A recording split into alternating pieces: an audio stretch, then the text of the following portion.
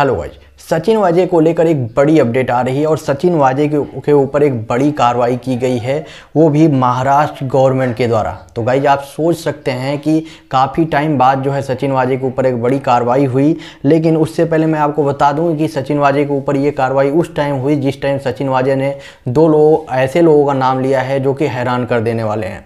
जैसा कहीं आप सबको पता है कि सचिन वाजे जो हैं, उनको एनआईए ने अरेस्ट कर लिया है और 25 तक उनको जो है कस्टडी में रखा जाएगा। एनआईए के। और एनआईए जो है, उनसे लगातार पूछताछ कर रही है। और उस पूछताछ में कल जो है, एक न्यूज़ सामने आई थी, जो कि मैंने आपको बताया था कि सचिन वाजे ने दो लोगों का नाम लिया था। एक तो शिवसेना का एक मिनिस्टर है, जिसको अभी पब्लिक नहीं किया गया, नाम जो है पब्लिक नहीं किया गया। और साथ में ही एक मुंबई पुलिस का एक पुलिस इंस्पेक्टर या जो भी एक बड़ा अधिकारी है, जिसके बारे में भी अभी किसी का भी नाम जो है पब्लिक के सामने नहीं किया गया।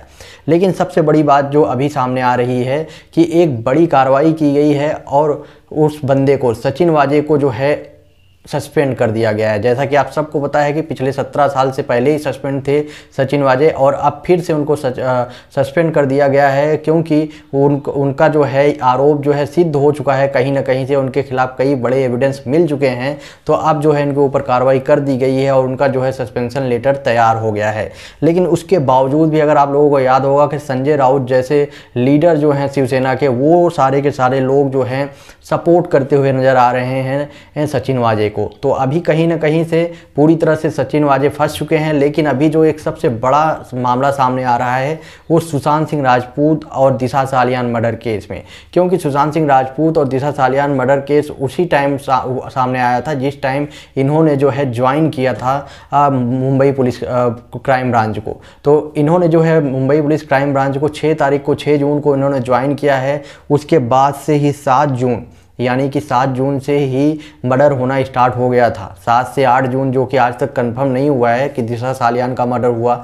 उसके बाद फिर थर्टीन या फोर्टीन जून जो जो कि आज तक कंफर्म नहीं हुआ, सुशांत सिंह राजपूत का मर्डर हुआ।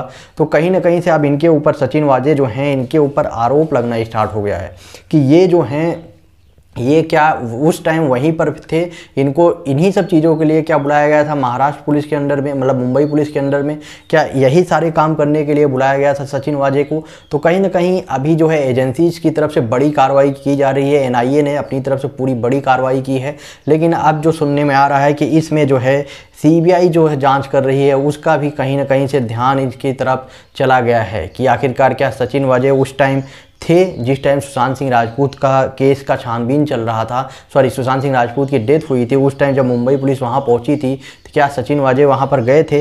इन सब चीज़ों को लेकर भी काफ़ी अपडेट आ रही है कि उनके ऊपर भी बड़ी कार्रवाई करने वाली है सचिन वाजे के ऊपर। तो गाइज़ आपका क्या ओपिनियन है? क्या सीबीआई करेगी अपनी तरफ़ से कोई कार्रवाई? आने वाले टाइम पर ये बात ज़रूर पते, पता चल जाएगी, लेकिन गाइज़ आप अपना ओपिनियन कमेंट बॉक्स में बताएँ और वीडियो को ज़्यादा से ज़्यादा शेयर करें।